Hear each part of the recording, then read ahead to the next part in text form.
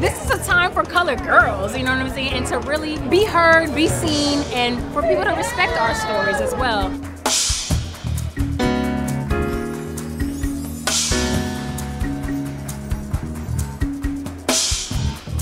I'm really appreciative to be surrounded by beautiful, talented, astounding, fabulous people.